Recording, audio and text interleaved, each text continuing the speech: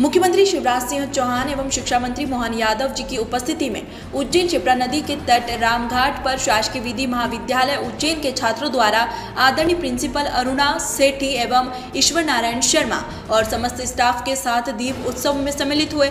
इस दिन लगभग तेरह लाख से भी ज़्यादा दीप जलाए गए, जो कि संपूर्ण विश्व में एक साथ दीपक जलाने का विश्व कीर्तिमान Guinness book of world record में दर्ज किया गया। इस कार्यक्रम में छात्र छात्राओं ने उत्साह से बढ़ चढ़कर हिस्सा विभिन्न जिलों और दूर दराज से भी लोगों ने सहभागिता की। यहाँ तक कि देवास ज़िले से उज्जैन में पढ़ने वाले हमारे संवाददाता ने छात्राओं से बात करी छात्र ब्रजेश पटेल और उनके साथी भी इस कार्यक्रम में सम्मिलित हुए। सभी गवर्नमेंट कर्मचारी, नगर निगम और पुलिस प्रशासन का सहयोग रहा।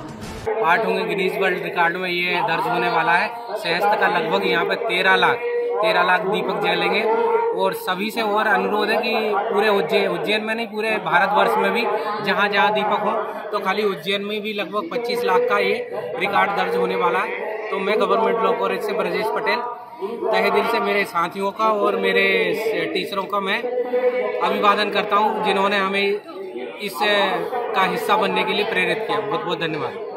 हमारे शासकीय विधि महाविद्यालय उज्जैन के लिए एक आज महान क्षण है कि आज उज्जैन में जो Guinness book of world record में हमारे उज्जैन का जो दीपोत्सव, त्यौहार महाशिवरात्रि के अवसर पर मनाया जा रहा है, उसमें हम लोग सहभागी हैं। सबसे महत्वपूर्ण बात यह है कि आज का दीपोत्सव इतिहास में लिखा जाएगा, क्योंकि अयोध्या के बाद ये दूसरी जगह होगी जहाँ पर लगभग 12 लाख दीपक जलाए जाएँगे।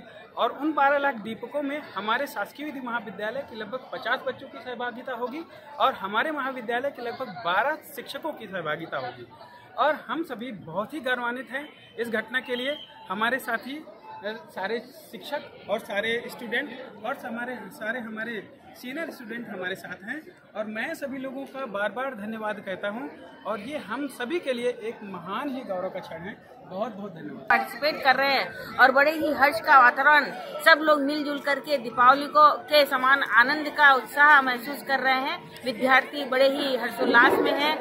देवास से कैमरामैन अभिषेक सोनी के साथ राजेश पवार की ये रिपोर्ट।